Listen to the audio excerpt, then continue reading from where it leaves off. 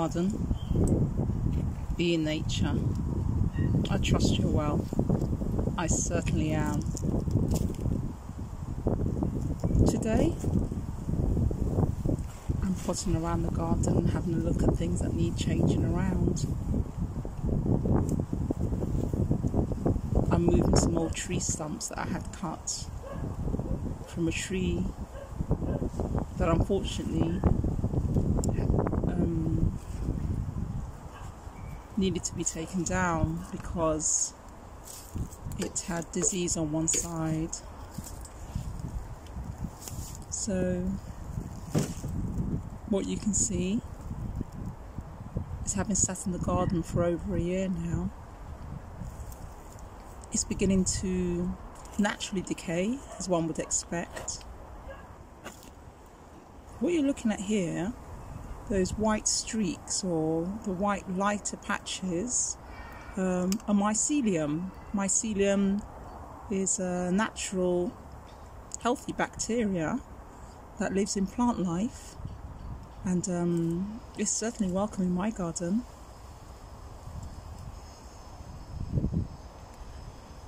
It occurs naturally, often in old leaves and wood, trees. But in nature, what happens as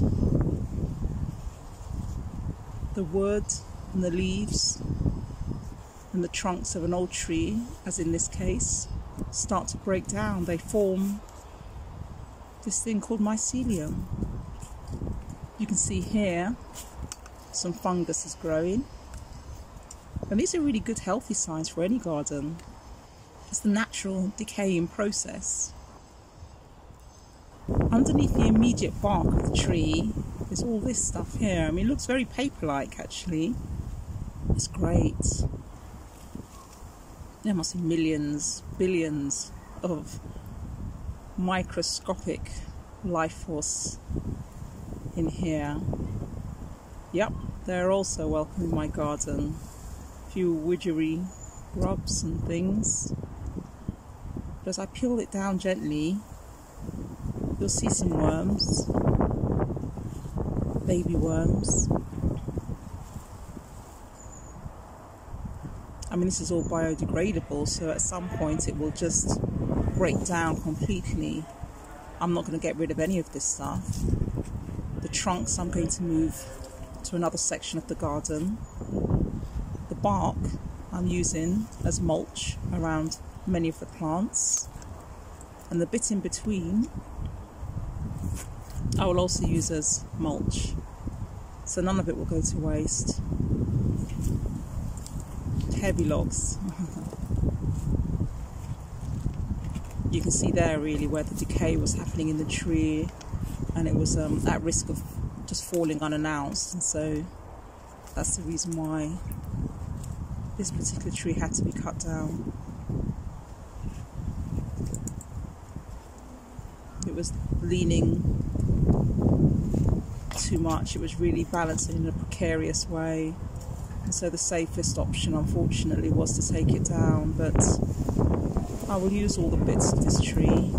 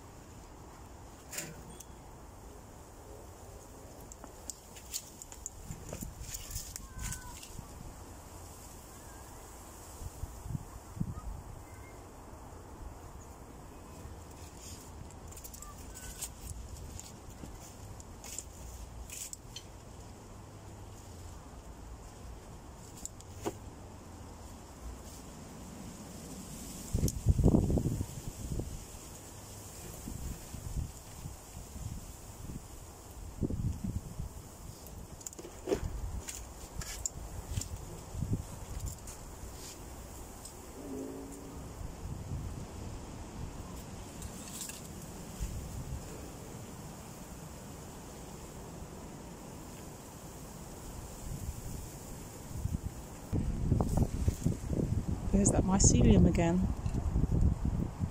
As the wood starts to rot down and become decayed, and the starting process of the bacteria that's healthy for the soil. Can you see that love heart in the middle of that trunk? Isn't that awesome? I think it's just not a coincidence. But there's a hollow heart in the middle of the trunk of wood. So, I'm stacking them at the back of the garden for now, um, but I will find a purpose for them at some point.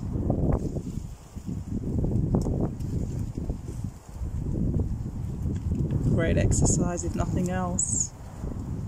Remember, when you're pushing, you're working your front muscles, your pectorals, pectoralis major.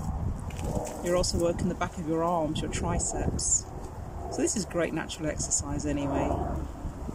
And as you pull, you're working your back and biceps. So, this is an all over body workout. You can see here to the left of the log as you have a look at it where the bark is damaged and the tree was beginning to um, decay. And um, we did call a tree surgeon out, and it was um, advisable to have the, the, tree cut down because um, it was beginning to lean, and uh, you can't imagine what kind of damage potentially that could have done if it had come down unannounced. So the bark has been stripped off this particular one, and you just see lots of signs of life, really. That's what this is. It's beautiful stuff.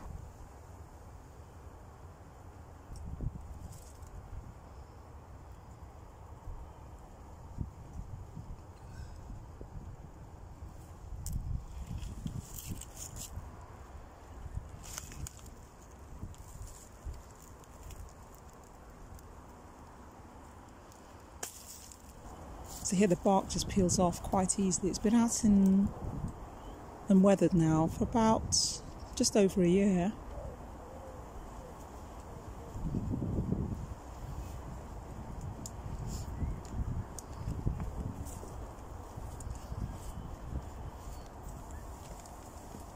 Yes, some mycorrhizal fungi. Um, you can purchase those at many nurseries, and you add that to the plant's root system, and that's what the mycelium does.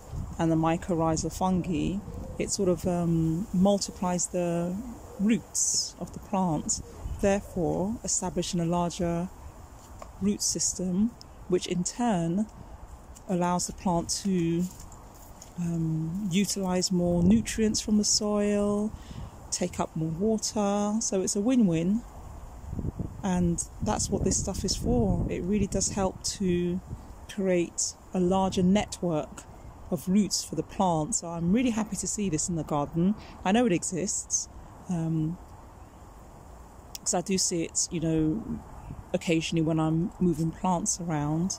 But it's nice just to see this in this uh, wood. And um, I think some people might panic if they were to see this white mass of um, fungus looking material, but really it's a sign of good, healthy soil. So I'm happy about that. And these are heavy.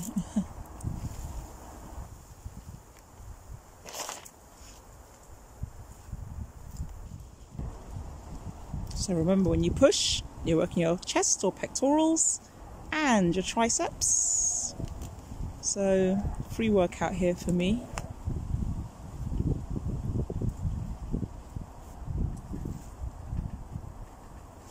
Come on, you can do it. There we go. Easy does it.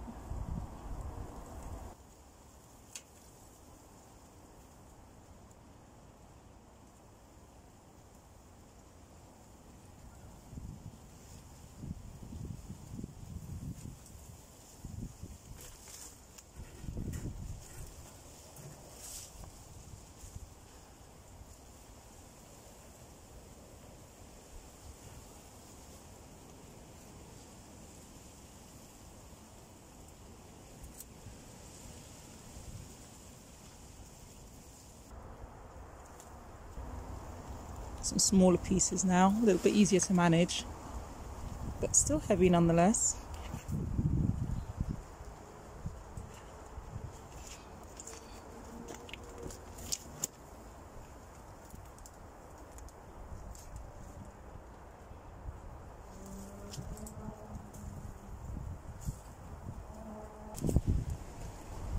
bark is peeling off really quite easily and look at that incredible it's just so beautiful. It's beautiful to see all these worms and the baby worms. And life.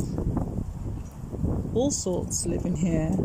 And that's why it's a really good idea if you can perhaps somewhere in your garden to leave a place where you do leave logs and twigs and straw and hay and bark.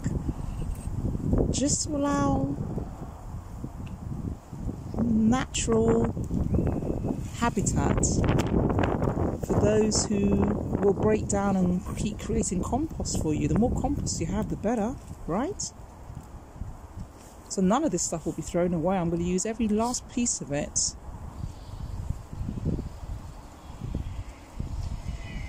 I could have left it on the log, yes.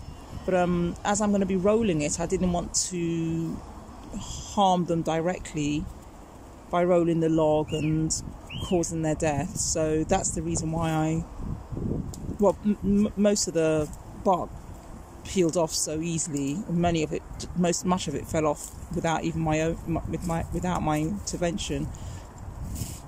And so that's the reason why I removed it, just to um, be sure not to cause them any harm. Here again in this trunk, you can see where the damage was, or the disease that was affecting the tree.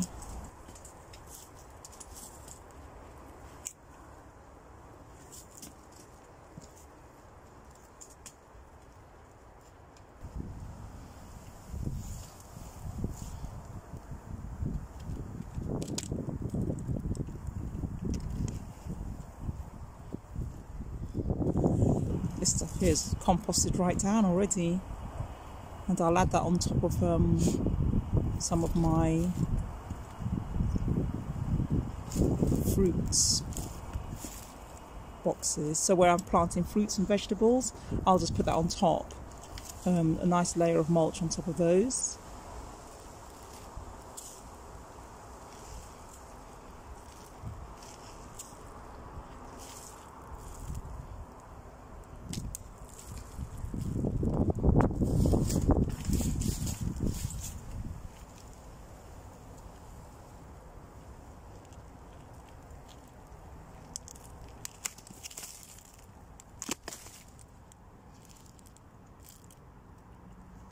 It's incredible.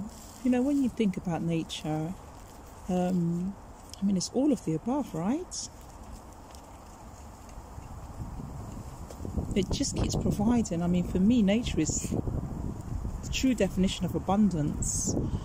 You've got the tree, and the tree, in many instances, is used to make homes. It can be used to create fuel, fire. Um, it breaks down naturally and becomes soil where you can plant food. A single seed grows into a plant. The plant has many fruits often. The fruit gives you seeds, and you just keep on that cycle. It's incredible. It really is abundance when I look at things like this.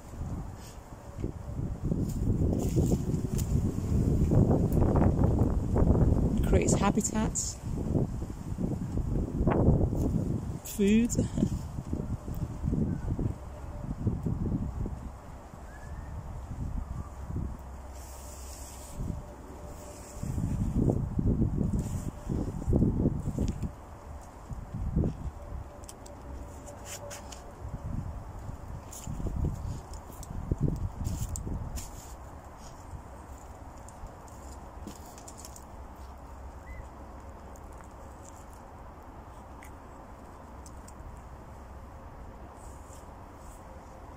ready made compost. Add it on top of the soil, around the flower garden, our vegetables, and we're good to go.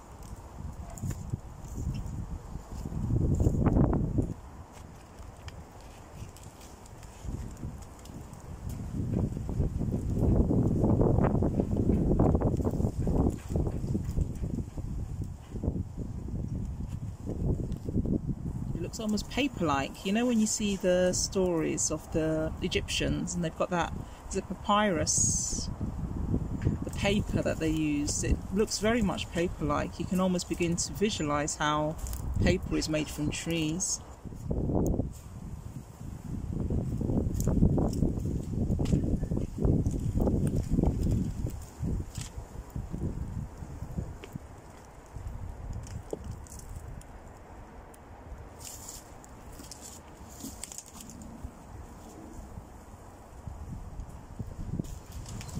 Sure what these are, but they're living in between the trunk and the bark of the tree.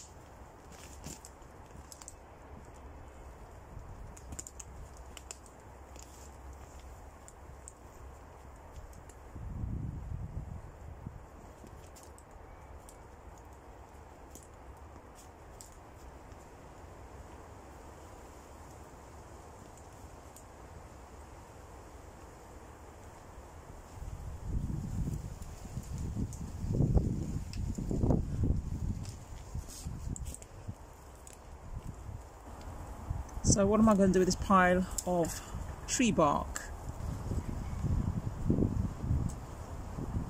I'm going to use it to mulch some of my fruit trees mostly.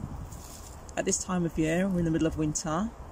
Um, the soil can get very cold here in the UK, so I'll be using that as a mulch to keep the soil from freezing in certain areas. Um, it will also provide a little habitat as well for beneficial insects and others that need places to hide, you know, out of the elements for the winter.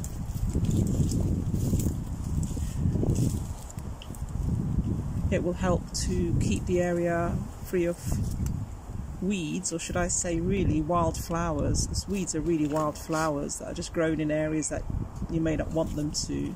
So it will help to suppress any wildflowers from growing immediately around the tree area. And sometimes they can deprive the trees of, you know, uh, moisture and nutrients. So I can suppress those, which will help the fruit trees to get as much nutrients as required. It also helps to keep the soil cool actually in the hotter seasons. So it's win-win as always. Keeps it warm in the winter, keeps it cool in the hotter season. So this one's a young apple tree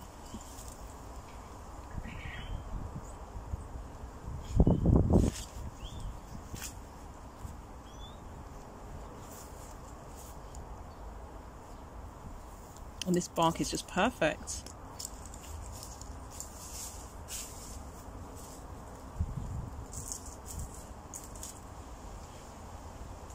Just adding a few layers on top of each other around the base of the tree. or keep moisture in and almost act like um, a sponge to allow the water or the rainwater to um, be seeped into the soil as and when it's needed. As I said, it acts as um, a suppressant for unwanted plants.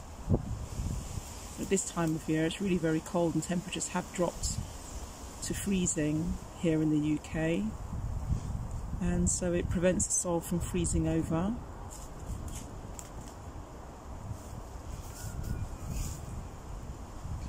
gradually over time it will break down and become new compost and release the nutrients into the soil.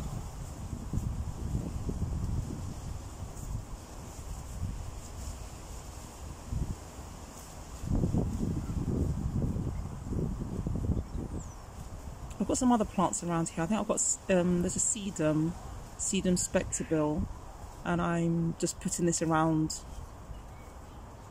that as well as a peony. So just provided some ground cover, mulching it, which is a good practice if you can. Um, of course, you can go and buy some, you know, natural items to use as mulching. You can use old newspaper. You can use cardboard.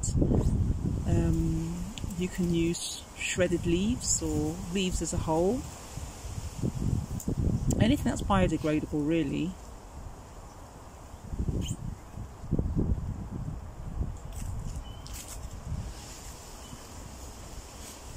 the tree to the left is a peach tree and yes it does flower here in the UK and it also does fruit and I get some peaches from here it's still rather young you can see just from the size of the, um, the thickness of the trunk. So I'm really hoping over the years, you know, in the years to come, that it will be able to fruit and give me even more and more. So that there is the peach tree.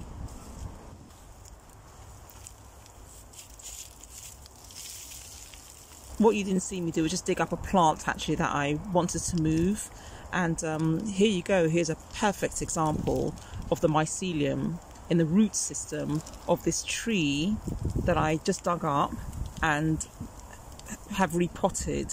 But this is exactly what I was talking about. Sometimes you get the privilege of seeing at the base of the roots or in different areas of the root system this white fungus looking thing and this is the mycelium and it's great for plants if you see it it's a good sign um, it just means that the plant has got some extra army of rooting. So it's a good sign, absolutely. So that was just a plant that I had in a space I didn't want it to be, and I'm just repotting it. I'm just going to heel it in with some soil and um, decide where to put that perhaps come spring, or I may gift it to somebody. If anyone's looking for um, this one is laurel, laurel.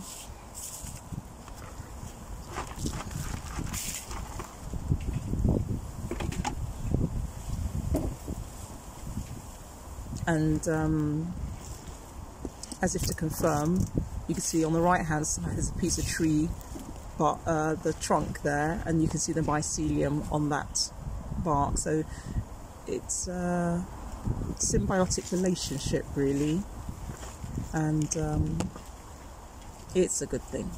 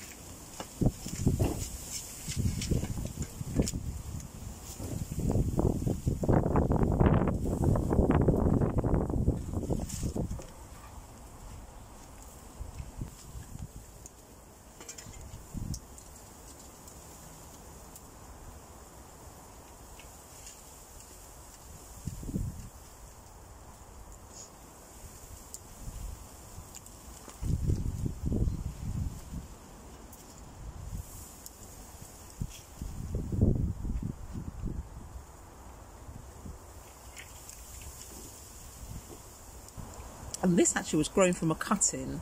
So all I did was when I pruned down or when I pruned back the laurel, I just took a, a piece of twig, literally, maybe about eight to 12 inches long, and stuck it in the ground. And hey presto, you get a new plant. So for free. And again, coming back to the abundance, it's absolutely true for me in the garden. You see the evidence of it all the time. This was just a simple cutting and um, stuck it in the ground. And I think it's probably about a year and a half later, I now have essentially a whole new plant and it hasn't cost anything. Water it in.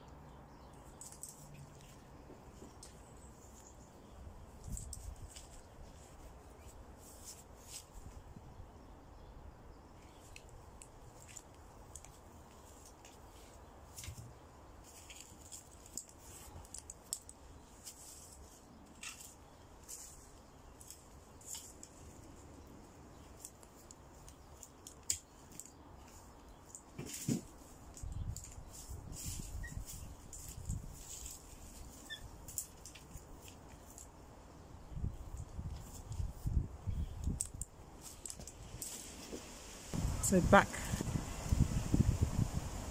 to my peach plants. All beneath this soil there's lots of mycelium, just covering it up with the tree barks. Keep that from freezing over the winter, though it wouldn't harm this tree in any way, shape or form. It's managed many a cold winter here in the UK and still goes on to produce some lovely fruits.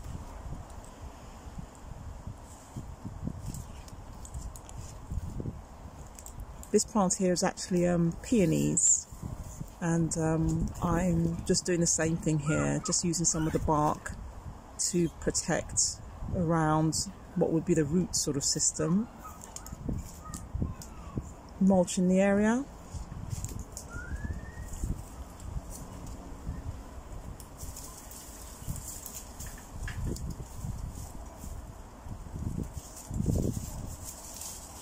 same with my young apple tree.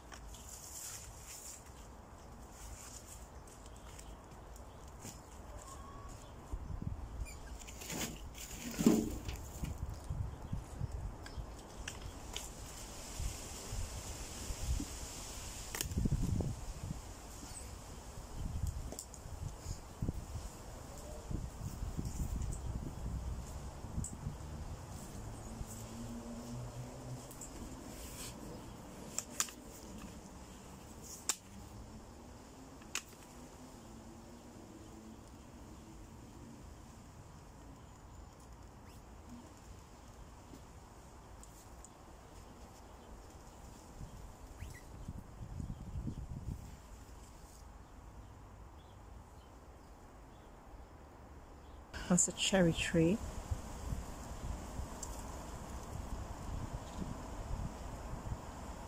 Still very young, but it does produce cherries already and they're delicious.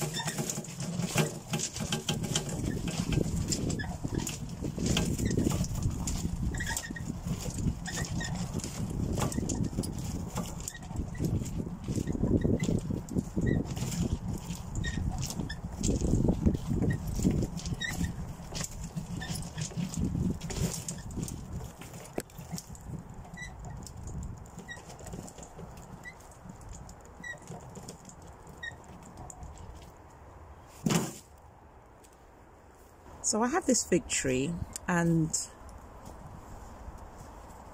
fig trees can get to be quite large, and I'm in two minds as to whether to put it in a pot. This will be where the fruit grows. I pruned it back hard last year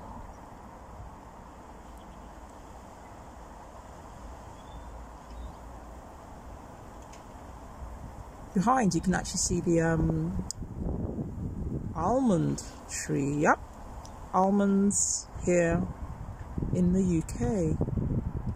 And it's already swelling, the buds are already swelling. And it does produce almonds, except the squirrels tend to get there before me. But yeah, I get plenty of almonds off this tree. So back to the fig tree. I've decided I'm going to dig this up and put it into a pot, a plant pot. Yeah, to control its growth. It's really getting a little larger than I wanted in, for this space and I have a project that I'm going to be working on in this area and I really I'm reluctant to do it, but I don't want this fig tree to get too overgrown for this particular area. So here goes.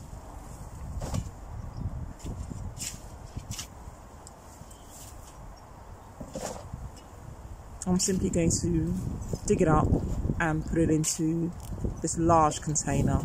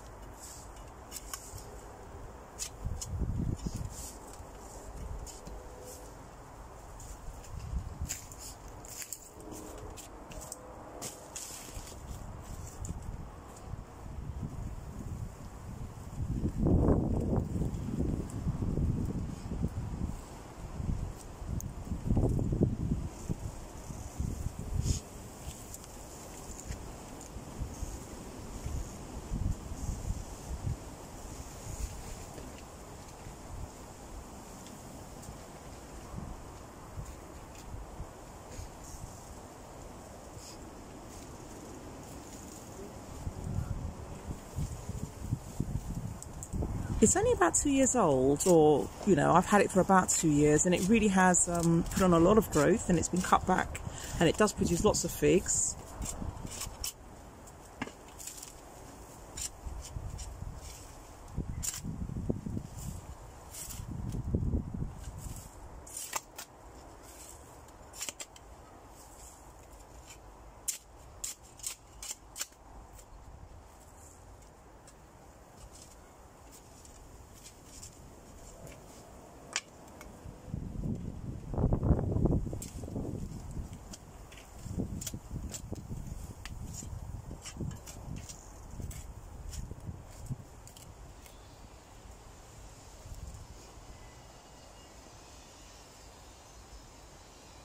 Initially I was going to have it espaliered, so you know control the limbs, the direction of this tree, but I've decided to let it have its freedom, if you like, and it's just going to grow in whatever direction it wants to grow. And they do get really very large, so I want to just try and um, manage the growth of this particular tree. I remember purchasing it about two years ago, and it came in a root ball. So not bare root, it came with some hessian. It came in a ball of hessian sack, and you don't have to take the hessian off the root ball area. It simply grows through it. If you're wanting to have fruit trees and you're not too sure about planting them directly into the garden, do consider putting them in pots.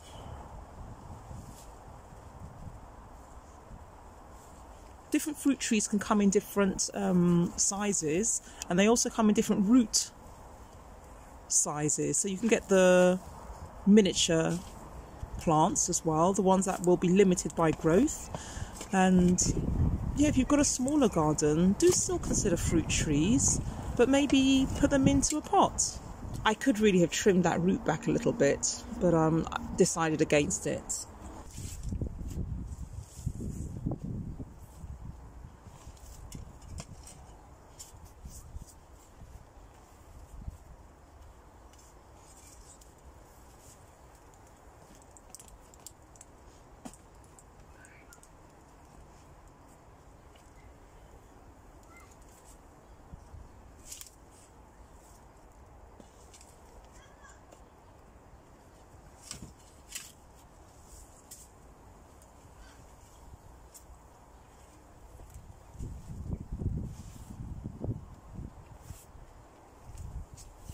Much better.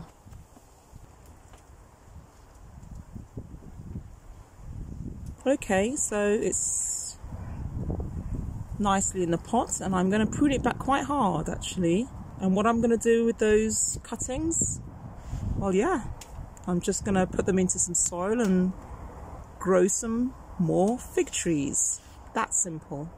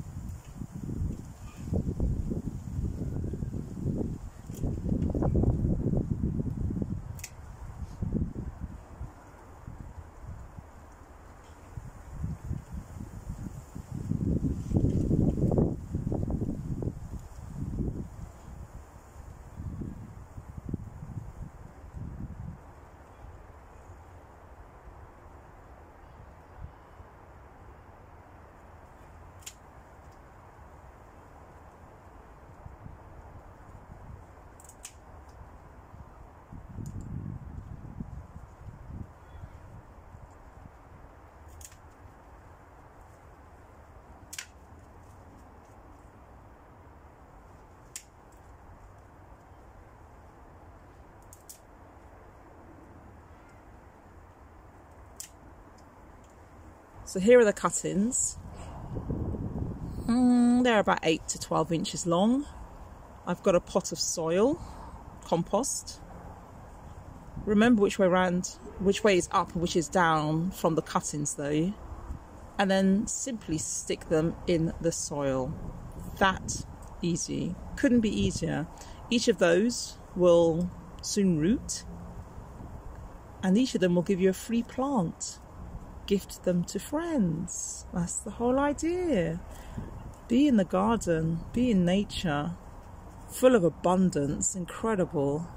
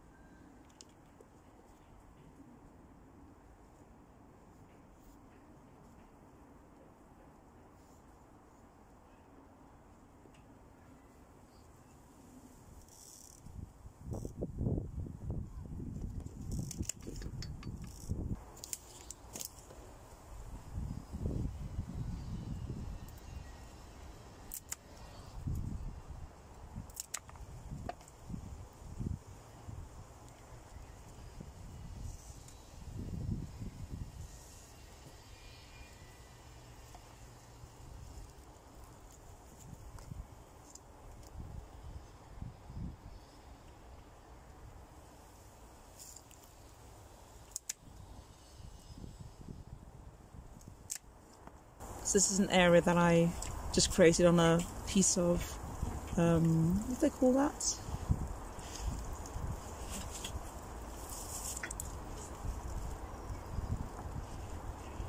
Anyway, piece of free wood. You know, you get something delivered to you, large amounts, and you get the free pieces of wood. Um, I've just put those down, filled up some gardening pots with some homemade compost, and taken some cuttings from different plants around the garden. Um, you can still see there the laurel that I planted earlier on. I've got some anemone, September charm, and any other softwood or hardwood cuttings. I just cut pieces and throw them into the pots. And if they take, fantastic. And if they don't, it's not a problem. They just go back into the compost. There you have it. That's what I got up to in the garden. Despite the cold.